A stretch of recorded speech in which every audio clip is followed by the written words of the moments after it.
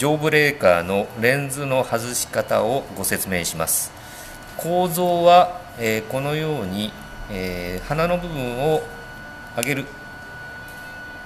そしてここの金具を外します、えー、その後、えこの部分下の部分を引っ張ればぐっと開きますので簡単にレンズが取り外せます。